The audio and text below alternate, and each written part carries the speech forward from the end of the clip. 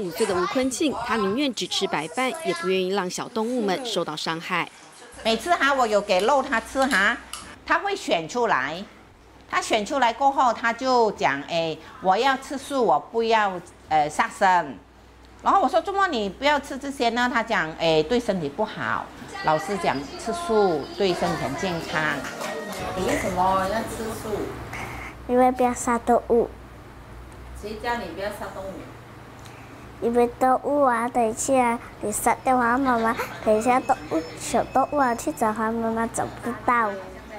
那么现在呢，带他去 KFC，他跟我讲他不要去，因为周末他讲炸那个薯条啊，那个油啊可能有肉的，他会这样讲哦。所以我也没有想到嘞，才五岁的孩子会这样分析到这样清楚，他很诚心哎。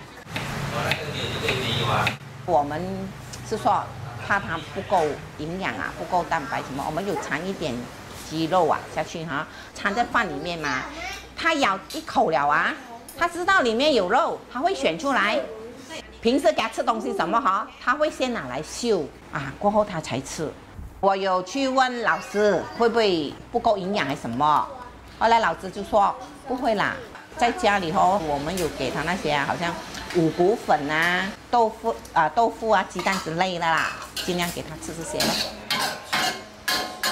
吴坤庆的决心让阿公阿妈很担心，但是后来却是很放心，因为他的身体的确是越来越健康。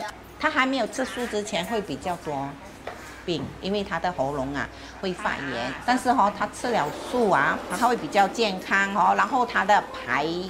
排泄也很好，很正常，也比较少说喉咙发炎呐，呃，发烧什么。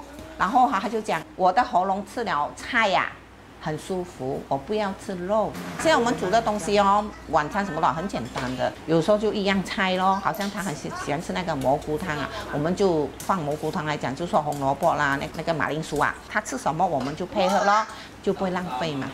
那你要吃吃菜菜吃到几时？吃到老哦。然后你要吃到老老啊？嗯。还要浇水一起吃。嗯，全部了。大新闻，真善美之工马来西亚综合报道。